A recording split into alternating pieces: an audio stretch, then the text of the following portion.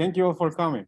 I'm quite excited to be here in this day with all of you. I'm already crying. Okay, so today we're gonna talk about birds and can I close this?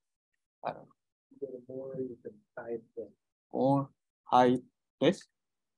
no, No. next one down, floating meeting. Oh, that, yeah. Okay, thank you all for coming. Uh, also in Zoom, love you all. So we're gonna talk about birds and yeah, evolution and ecology. And I guess uh, I appreciate uh, Town's introduction and my time here. I have had a lot of fun. And the idea is to show you some of my doctoral research with these guys that some might say I've been obsessed with, uh, Orphenolus anca6. Here we go. Okay, so um, birds and how they reproduce. So usually uh, birds are monogamous. That means they form one pair, one male, one female. They nest solitarily and uh, both parents take care of their uh, chicks or offspring.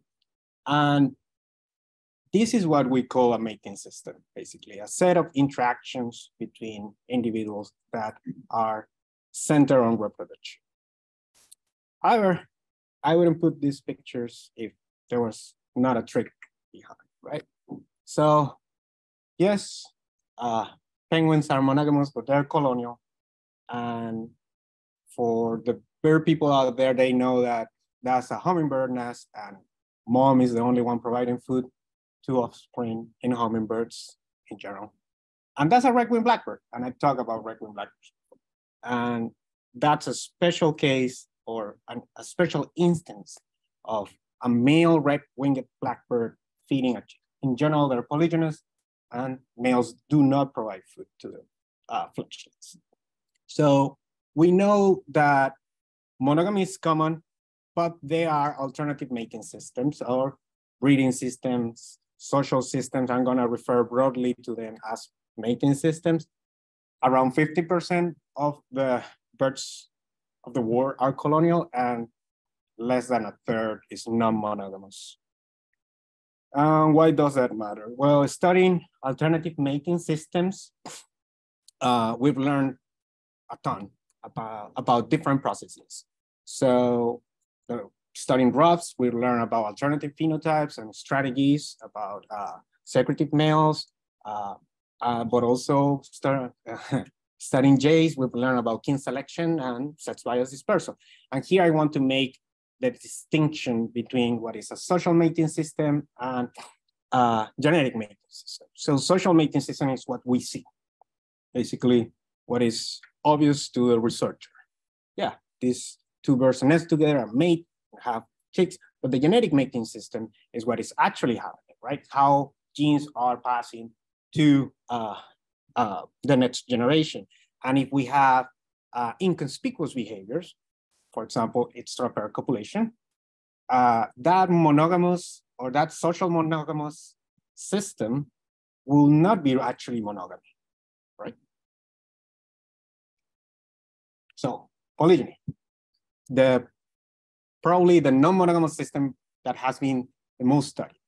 And it's quite simple. And then there are many classifications on polygyny, but the idea is that uh, in polygyny, males compete for access to females. So one male mates with multiple females. And these are examples of that. Um, in these systems, there's high competition, high intrasexual competition among males, and that increases sexual selection. And then the variance in reproductive success of these males increase. What that means is that some males mate a lot, few males actually, and most males don't mate or mate with one female. That system is characterized uh, by a reduction in the effective population size of populations and a reduction in the genetic diversity of populations. So we'll talk about polygynous systems today quite a bit. But uh, classically or traditionally, these mating systems have been studied from the local perspective, from uh, the availability or distribution of resources and the aggregations of it. So this is a classical plot from, or a plot from a classic from Emlen and Oring, where you'll see in the x-axis how resources are distributed. They're either clumped or dispersed. And in the y-axis, you'll see the temporal availability of mates. What that means is do, in this case for polygyny, females group, and does that facilitate polygyny? So when resources are clumped, uh, resources related to reproduction, and where mates are clumped in space or time, there is a higher potential for polygamy in that case, but we're talking about polygyny here. And so the idea is that reproductive success of males depends on the distribution, both in time and space, of these resources. Uh, Emlen and Oring also mentioned that they are there were phylogenetic factors. And I want to uh, talk about to them as factors that add at macro scales. Basically, we see that in, uh, for example, colonial birds, penguins again, are uh, usually not randomly distributed across bird families. What we see is that in general, sea birds are colonial birds, passerines are not. Or manakins and cotingidas and birds of paradise, they're usually frugivorous. And in those species, we see uh, polygynous systems. So there's some uh, phylogenetic component to the kind of mating system we see, we see within a family or a radiation. There's also uh, geographic variation in resources or conditions, and that might be related to the geographic variation that we see in mating systems. For example, the acorn woodpecker, which depends on acorns, so acorn distribution, shows monogamy, polygyny, and a mixed, mating system called polygynandry. I'm not gonna go there, but it's complex. Okay, so moving on. The aim of this doctoral research has been to study these factors that are at macro scale, so large scales, large scale factors in space and time that affect uh, mating systems in this beautiful radiation. So this is the outline of my talk. Uh, First, I'll talk a bit about uh, the study system, and then um, I'll uh, mention some, some results of my three chapters. The first is uh, in the phylogenetics of the subfamily that is uh, made of Caciques and Oropendolas. Second chapter is on the genetic diversity and differentiation patterns that uh, we seen in two focal species of uh, and Oropendolas, and the third chapter, it's related to niche and geographic distributions of these uh, lineages. The end, some take home, hopefully, and some acknowledgements. Okay, best group ever, Caciques and Oropendolas. So we have three genera, Psarocolius, Ardioropendulus, Cacicus and Cassiculus are the caciques. They are neotropical, that means they are in this side of the world, mostly from Mexico to Argentina. And there are around 20 species, my mouse.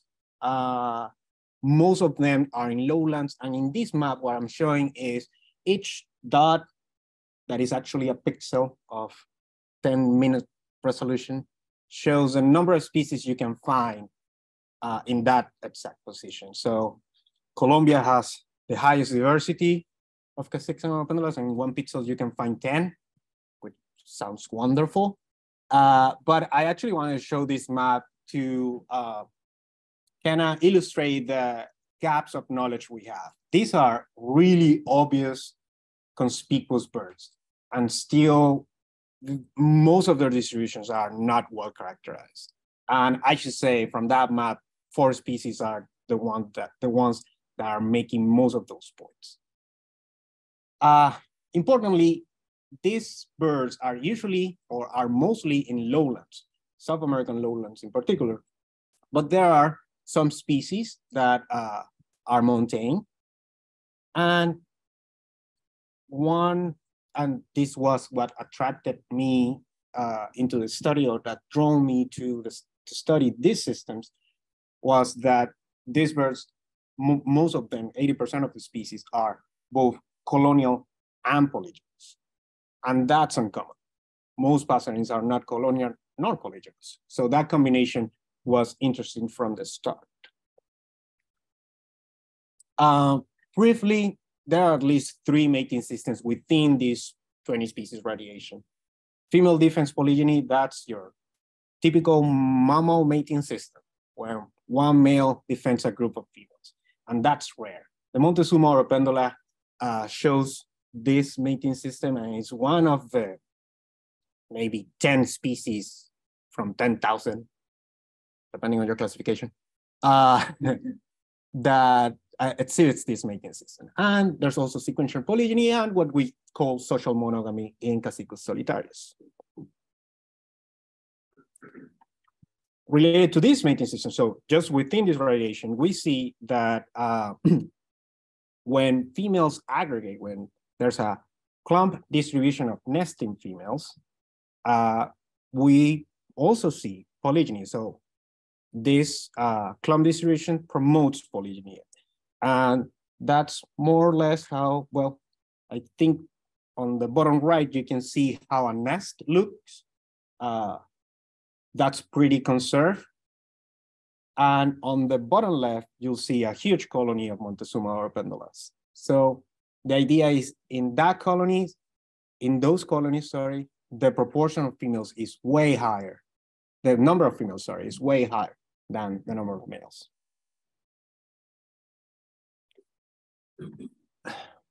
These species really like isolated trees or nesting sites. And there are a couple of works that have shown uh, how the position or the isolate the degree of isolation of these sites is related to colony size. So think about isolated colonies uh, have a higher number of nests, and that is potentially related to a higher degree of polygyny. So one male can monopolize more females uh, in a large colony.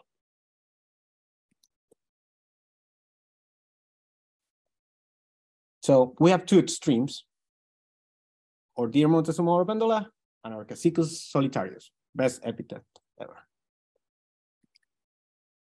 However, they are, again, mountain species that seem to be an exception. And uh, in highlands, these three species show alternative nesting strategies. They either have scattered colonies, so the colonies are not in one isolated tree, but spread across a line of trees that is, or an edge, a, a forest edge. Uh, their colonies are smaller sometimes, or they swap between solitary nesting and coloniality. Given that background, factors in large scales, I'm gonna talk about evolutionary history, regional demographic processes that affect these mating systems, and also how climatic, abiotic, abiotic conditions uh, set the stage for these mating systems across geography. Okay, moving on the outline, let's go with chapter one. The phylogenetics of Cacicinae, which is a subfamily of Caciques and Oropendolas. So we have a couple of questions here. First, we want to see if, or we want to confirm if uh, species are related share these nesting patterns. So if, either if they are colonial or solitary. And uh, we want to check if the uh, within the radiation, the species that have spread to mountains have done that independently. This is the current uh, phylogeny of Cacicinae. And it's a multi-locus uh, phylogeny based mostly on mito mitochondrial markers with some nuclear markers. uh, it proved many things in uh, among the among that there's the monophyly of the subfamily, but there are some unresolved uh, relationships within, particularly within Cacicus, that have received either low support or are not super clear. And there are uh, several subspecies that were not uh, uh, sampled um, in that effort. So we thought, uh, let's try to do that. Let's try to do a comprehensive, let's try to build a comprehensive phylogenetic framework. So here are some of the methods of this chapter. Hmm. Honor to the library prep process of all of this, which took me a while, but we're good.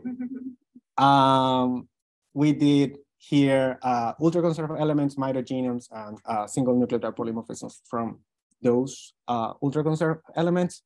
Uh, I can talk about this uh, later with anybody if they like, but first result, what we got here is a full, let's say comprehensive phylogeny. So including all the all the currently recognized subspecies of the subfamily have been included.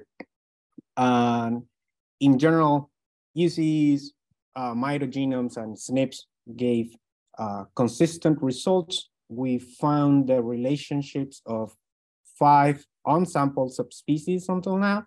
And we have some issues like long branches in UCE reconstructions, but then uh, the SNP tree solved that. And some internals were short, but they were validated with concordance factors. So uh, we are in pretty good standing now in terms of the relationship among these taxa and uh, going in depth uh, or going inside each of these genera. The first result is that, uh, yes, colonial Cacicus or colonial caciques are uh, monophyletic. So what we see is that in the bottom there are um, eight species or taxa for now that are show coloniality, coloniality. And this has been confirmed by all markers uh, or all the markers that we use. Uh, within this clade though, there are taxa that do that have facultative coloniality. Again, that means that they swap. Some populations are solitary and some populations are colonial. Uh, and in those populations, colony size is uh, uh, smaller, right? So they get until six, ten nests. Instead, lowland caciques can be can have colonies of 75 Moreover, we see that within Cacicus, the two montane taxa, strictly montane, uh, are, are arrive or spread to these regions independently. They are within that clade non-closely related. And we also see that in Psarocolius. So Psarocolius atrovirens is a strictly montane and uh, it also uh, there. We, or at least its ancestor, that's something that needs to be cleared out in the future, hopefully. Um, and I'm showing their, their elevational ranges. So that's in meters. I'm sorry. But good. All right. So the important thing about that last part is that these three strictly montane taxa are uh, show different nesting patterns that seem recurrent. So the caciques or oropendolas that have spread to uh, mon mon mountains either have smaller colonies, all of them, the caciques will, will swap between solitary nesting and coloniality, and Psarocolius atrovirens will show these colonies in multiple trees. And uh, this might be a pattern that all, all other oropendolas uh, show uh, among different populations at different elevations. So in a study that we did in 2021, I guess that's when that came out, uh, with Psarocolius decumanus, we saw these differences in high elevation uh, Psarocolius decumanus populations showing more multiple trees than what you see at sea level. All right, so to answer our questions, double yes. Uh, related species share nesting patterns, and these elevational shifts happen independently in this radiation. So bottom line uh, from this chapter is that, uh, yeah, history, evolutionary history matters. And in, at least in part, it determines which uh, nesting patterns and in consequence, which mating systems appear in a radiation. And importantly for the third chapter, we'll see these taxa disperse to Montes at least three times independently. There's some future need research that I will not talk about because Town told me not to. All right, coming back to our outline, we'll talk about how in a large temporal scale, there are factors that set or affect this uh, mating system. So let's talk about some cool whole genome patterns. All right, so here I'm focusing on two different species. And I'm asking questions, I'm asking basically two questions that are related to within population diversity in this species and between population diversity. These are the target taxa of this chapter. Montezuma oropendola, really exceptional, and our Cacicus solitarius. They are dramatically different because, well, you can see that the Montezuma oropendola has colonies that can be of hundreds of nests, and in those colonies, males can mate with more than 50% of those females, one male. In this case, the solitary cacique mates with one female, generally. And these social mating systems are different. They are really different in size. Uh, Montezuma pendulas are the size of a crow. Um, solitary caciques are like this big. Sorry, some people, this big. All right. And usually you'll see that caciques, uh, this cacique, is quite shy and they are associated to riparian forests. Instead, you'll see Montezuma pendulas basically everywhere. Towns, uh, next to secondary forests, plantations, etc. So with that setting, we'll expect that uh, the oropendola will show low genetic diversity because, why? It's polygynous. So as I said before, with just one male every now and then passing its genes his, to the next generation, the effective population size will drop. And in the cacique, we'll expect higher divergence because it seems that these birds don't move that much. So this population in general should be more isolated. This is our sampling. So in the bottom uh, left, in South America, we have three populations of Cacicus solitarius that we analyzed. And in Central America, and the upper right corner, we have three populations of Psarocolius montezuma some of the methods. These populations, uh, each of these populations had three individuals. We do Illumina whole genome uh, resequencing, bunch, bunch, bunch of SNPs. And yeah, there are some details I'm not gonna talk about, but again, if you have questions, we'd love to talk with you afterwards. Okay, first result, totally unexpected. First hit my made. I was scared because this goes against all my intuition. Both species show kind of similar levels of nucleotide diversity, diversity within populations. So to guide you in these heat maps, basically the diagonal is diversity within population and each cell is one population. Uh, in the right, right, I mean left in Zoom, uh, you have Montezuma. And even though the mean nucleotide diversity of this species was similar, uh, doing some uh, pair tests, we actually show that Montezuma was more diverse than, than the cacique. Slightly, they are in the same uh, order of magnitude, but, but those populations had higher with higher nucleotide diversity, which was odd to me. So I decided I was like, well, okay, let's let's see what's happening uh, among populations. And uh, on on the Casico side, that made more sense. Okay, yeah, I see some divergence.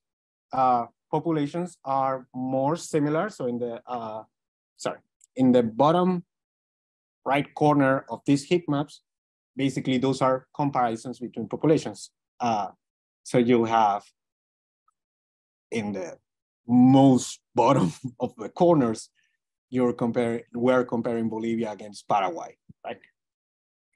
The main point is that that is the, the, the divergence value, basically how different these populations are.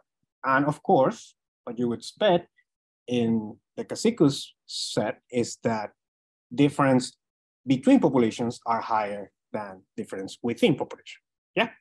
Individuals from the same populations are more similar. Makes sense. Uh, on the Montezuma side, though, we don't see that.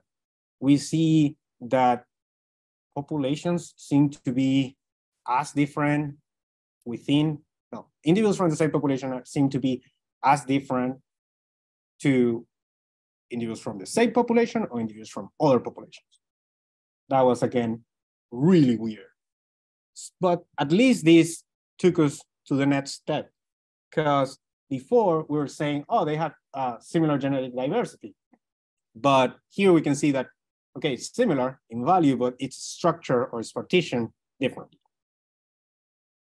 So here I'm showing a heat map, and this is on the y-axis, each of these dots show divergence between a pair of populations, in this case of Cacicus. That heap, sorry, that Manhattan plot, that's not a heap that Manhattan plot uh, shows the chromosome, the largest chromosomes. So from chromosome 1 to 14 from the autosomes, and chromosome Z, chromosome Z from the sex chromosomes. And the idea is that each of those red dots are windows of 50,000 kilo, 50,000 base pairs in which divergence was lower than nucleotide diversity. That means the differences between populations were lower, yeah, were lower than the difference within populations. Makes sense that there are few breakpoints. This is how the Montezuma look. So that's around 40% of the windows. So what that means is that across the genome, we see uh, many regions in which populations are, or individuals, sorry, are less different to individuals from other populations than to their own. Again, really weird. So this was more or less a, an existential crisis, and then went to John's office many times, and it's like he made the right suggestion of like, let's look inside populations. And this is how it looks.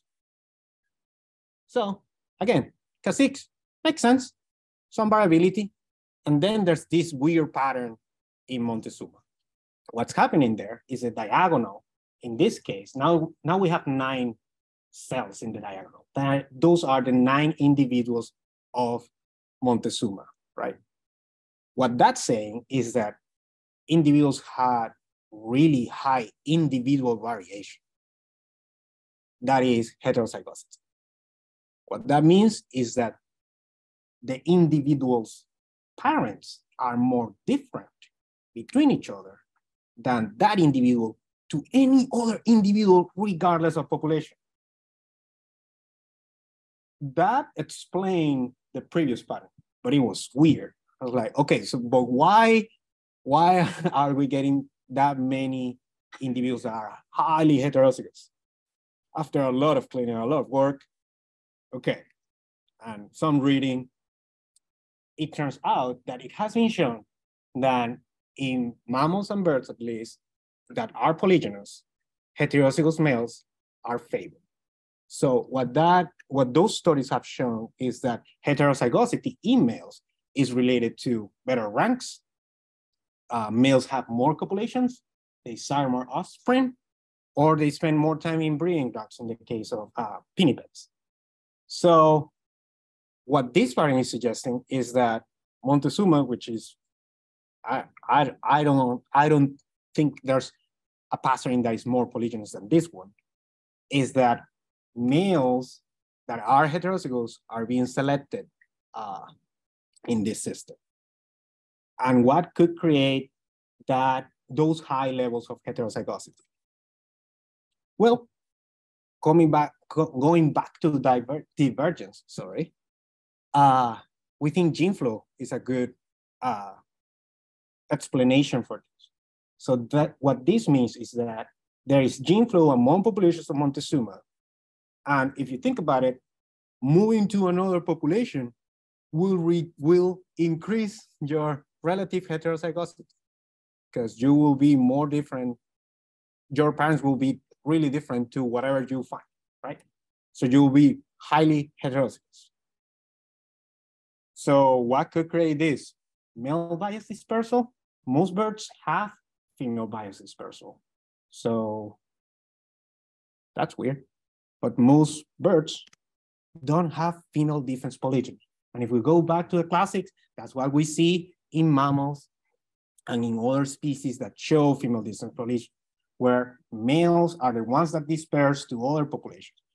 What this means is that do we have difference in within population? Yeah, yeah, I don't know. Yes, yes. Okay, let's partition differently.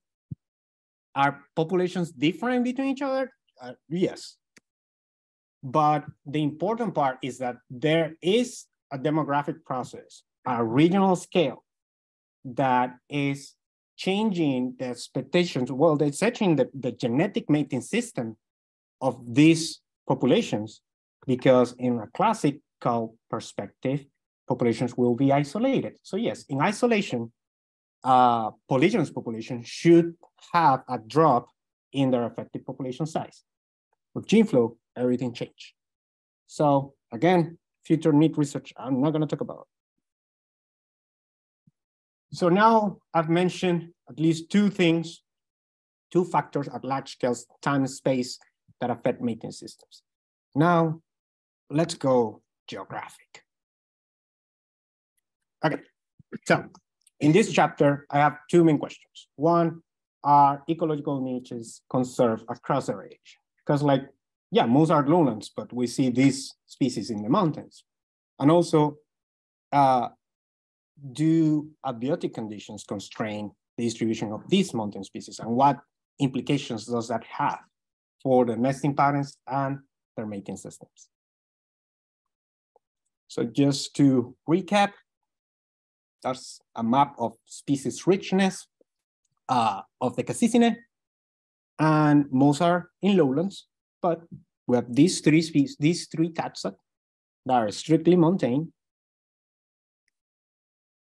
What we act, what we generally do here in this lab is we look at geography and we look at how conditions vary in geography, in this case, mean temperature. So um, I ask what conditions are being occupied by Cacicinae species? Well, Cacicinae species are in that square between Mexico and Argentina, and we can take several climatic layers and create envir an environmental space. Well, not create, just plot it there. And we can think on these two spaces, geographical and environmental, as link spaces and then see where species are in geography and where species are in that environmental space.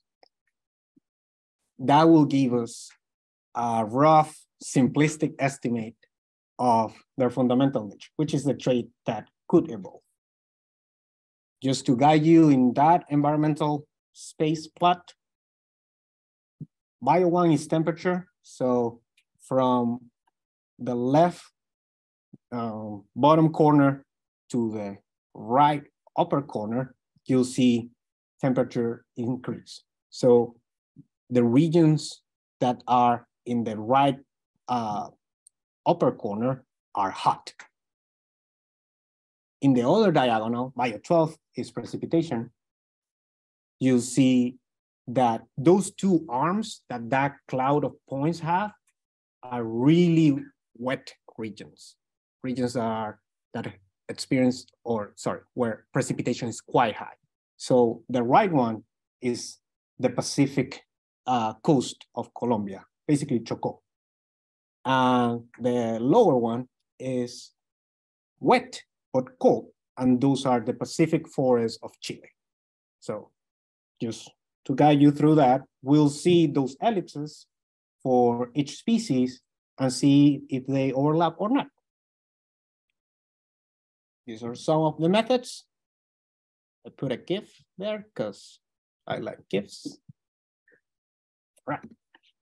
So this is just a general pattern, but like each of those ellipses or ellipsoids are for the 23 species that I analyzed. And the general pattern is that all of them are to the bottom upper right corner. So they're in lowlands. They occupy hot environments that are really rainy. Except those ones that are highlighted in blue, which are the mountain ones. You can see those ellipses are shifted to the center. And what that means is that these guys are living in colder conditions that are relatively drier compared to the other species in the radiation. Can we see that in box plots? Yes, please. That's our tree.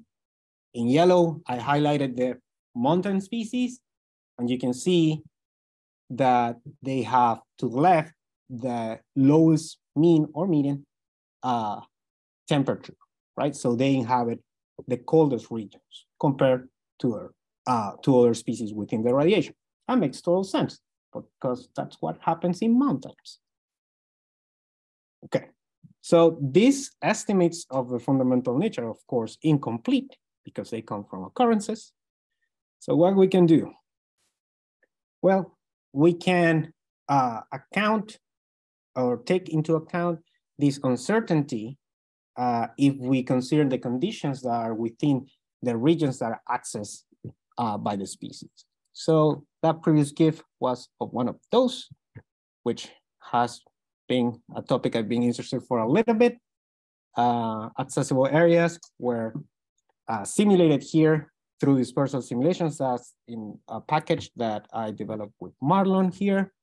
And we use it to obtain these regions where uh, species are either absent or present. But outside those uh, access, uh, sorry, accessible areas, we don't know. So those conditions are uncertain. And we try to incorporate this into uh, the estimations of fundamental niches using that other package. That is marvelous. Cool people here. All right. So again,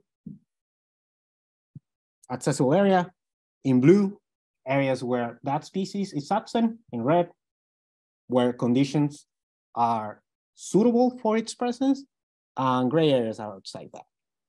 And this, in this case, I'm showing just one dimension, which is temperature. Having that, having that, we can create a character matrix for, in this case, temperature. If we binarize the ranges, binarize, binarize, make it bins, categories. And here I'm just highlighting the mountain species. So you can see that that red uh, tail of the range uh, gets to lower temperatures in those species. And with character matrices, we can do ancestral reconstructions of uh, ancestral niches. So the idea here is that with an input tree and the ranges that are categorized for each of the branches, we can reconstruct the niche of the ancestors. And after reconstructing that, we can see if there's any difference. The niche expanded or retracted. In this case, I'm showing a difference that means a retraction. So the ancestor used to occupy hotter areas and the descendant doesn't tolerate those hot conditions anymore. And here I show the reconstruction that we obtained. So in general, um, not putting there all the differences and all the reconstruction, all, all the reconstructed ranges, because what we saw was a widespread uh, pattern of uh, ecological niche conservatism. But I'm gonna focus today on the few instances in which we saw or we uh, found niche evolution. And those are at least these three, again, mountain species in which we saw a retraction from the higher end of the thermal niche. What that means is that these species do not tolerate conditions as hot as the ones that their ancestors, their respective ancestors did. How does that look in geography? So in current conditions, those purple areas show uh, are basically, sorry, those purple areas have conditions or have temperatures that were tolerated or were suitable for the ancestors of those species and are not suitable anymore for these species. What that means is that uh, abiotic conditions and niche evolution are constraining the distribution of these species so they are not in, found in lowlands. And that connects with what I've been saying before. So because they went up there independently, right, to mountains, now they have other nesting strategies. Um, some might go back and forward to solitary nesting and monogamy, uh, but some others have found ways to still be polygynous just with a different nesting uh, organization, let's say, social organization. Okay, and why do we think that's happening? Because in mountains, the distribution of these isolated trees is different, right? Like due to intrinsic factors of mountain areas, hydrography, topography, or just less patchiness, even species composition. So, are ecological niches conserved across Cacicinae? Yes. Is the distribution constrained by abiotic conditions and niche evolution? Also yes. So, as a take home, yes, uh, distributional ecology matters. No. Um, after thermal niche evolution and these species going independently upward, right? They are now restricted there. And that has affected the nesting patterns and that has implications for the uh, degree of polygyny of these systems. So more future research, because never ends. And we're almost at the end. Okay. I hope that with this summary of my doctoral research, I'll show you that mating systems, both genetic mating systems and social mating systems are affected by factors at large scales, macro scales, in time and space. Those can be uh, phylogenetic constraints, those can be demographic processes happening at regional scales, or also climate and abiotic conditions that restrict species distribution and uh, restrict the access to uh, resources that are important for reproduction. With that, stop acknowledgements. okay, I need to thank all my sources of support, for, uh, especially the uh, Natural History Museum and the department, and also EOS. Special thanks to the Engelmans for the Felipe uh, Gomez Opportunity Fund. All those museums uh, send me tissues for my analysis and photos of specimens or access to specimens, and I value uh, their support uh, quite a lot. Uh, special thanks to people in the Burke Museum and LSU Those are uh, the photographers of some of those photos. Uh, I'm really thankful to uh, all the people in the Biodiversity Institute and in the department. Um, I'm also thankful for the faculty and staff of uh, this institution. All um, several of you are uh, mentors and friends, and I appreciate I appreciate you a lot. And I don't have battery. That's bad. okay, but that makes sense because like now, if the screen goes off, you're not gonna see that I didn't put pictures of everybody. so it's definitely that, not that I don't use Facebook or anything. Okay.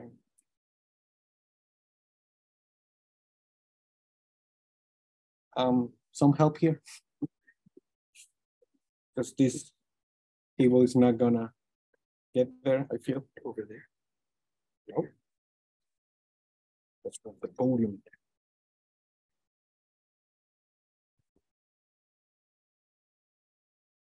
This is weird. There you go. Oops.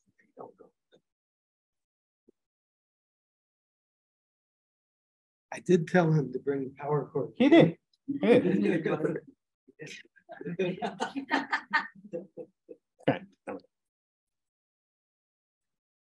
Okay, so I was about to cry. Um, that saved me. Okay. Uh, thanks to my committee for uh, all those times where I said, uh, you have five minutes and they were not five minutes. Uh, so thanks for keeping uh, your uh, doors open for, for me to ask questions. Thanks, Rob. And, and thanks, uh, Jamie, for teaching me R and give structure to my code. Uh, thanks, uh, Jenny, for your enthusiasm and your support in this process. John, thank you for everything. Uh, for biometry. Just thanks to biometry. I should put that just in my, yeah. right, Pietro? I- I'm not seeing the chat. but He knows. Um, okay. So this is when the, the slides get whatever, uh, disorganized. I don't have pictures of all of you. So, um, I'm sorry. I do appreciate everybody that is here, everybody is in Zoom. Some people couldn't make it. I, I have you close to my heart. Thank you, Town.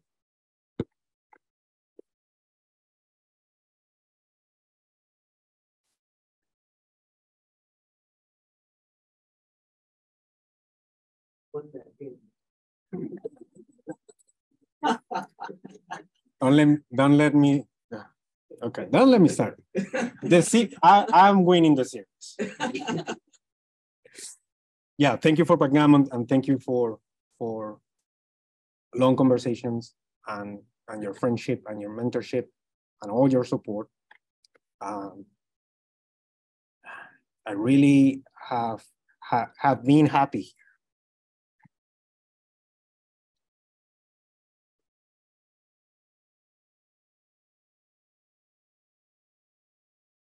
Thank, thanks for, um, yeah, just creating. Oh, fuck. You didn't hear that. Creating a community, uh, where, uh, we all feel, we all feel like home. So being away has been hard.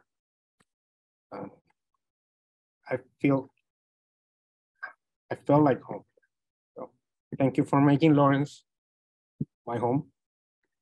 Um, the ENM group is too big, so I'm not gonna name you guys. You you know. Uh, no, I'm kidding. Uh, I'm, I'm I've named a couple. Uh, thank you to the two Daniels, the fake and the real one. You know who you are. thank you to Marlon and Claudia. And so many friends. Wow. Um, Guillermo and Rahul, and I'm gonna forget so many people. Utku and John, and well, I could just look at the pictures, I guess. Thank you all. Hi, Ali. Okay. Uh,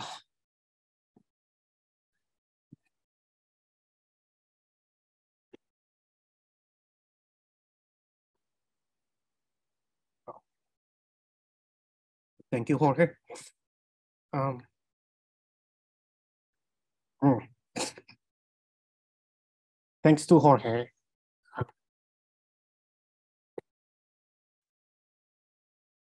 I am where.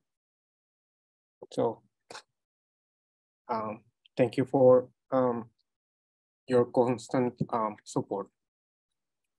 And don't say gracias a ti. That he's, he's, he usually says, no, thank you. Freaking annoying. So just say nada or something like that. Thank you to all my Venezuelan friends that I miss a lot. Shout out to um, ah, Anna and Danielle, who has been our, who ah, have been an important, uh, more important support uh, for me here. And many others, Malay and, and Jorge and Rafa and, ah, and Miguel. Ah, and Malay and Ivan. I already said Malay, I feel. I'm repeating myself. Um, thank you to, and I, I don't have a photo and that's Mark's fault. Thank you to the ornithology division. I'm gonna really miss Mark. Thank you, Mark. And I had a meme about Mark and Lucas, but it got lost. It's all right, I'll print it.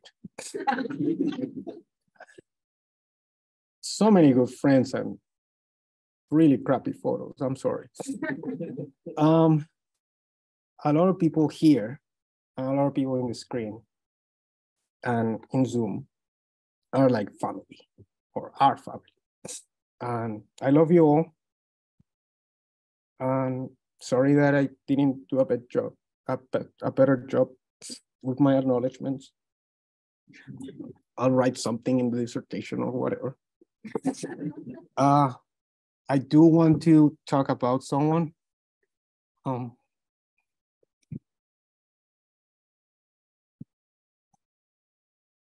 um, oh, 54 minutes. I do want to talk about someone that is not any uh, here anymore, but it's close. And today is a double five day, so I need to talk about Francisco.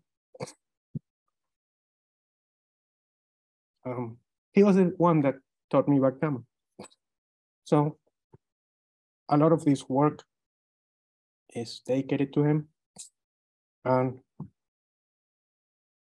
um, Miss your turn. Okay, and also thanks to my family.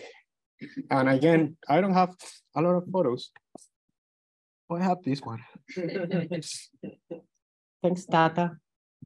And Lala and Lulu. And all my aunts and uncles and cousins. And I miss my sister a lot. I'm not making any sense. But yeah, look, look, that I'm wearing a t-shirt. Ah. Thank you for your support and your love.